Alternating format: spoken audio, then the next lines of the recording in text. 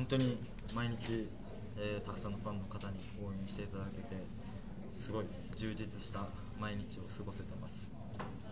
どうですかね？うん。まあ勝っても負けても回ってこない可能性があるので、えー僕は自分のみんなの応援をしながらしっかり自分の準備も、えーしたいなと思います。そうですね。やっぱもちろん、えー昔から、えー憧れの選手と、えー対面するっていうのはすごく緊張したので恥ずかしかったですけどすごい貴重な経験をすることができました。人生におけるバドミントンの意味？そうですね。なんか難しい質問難しいですね。そうですね。なんだろう。なん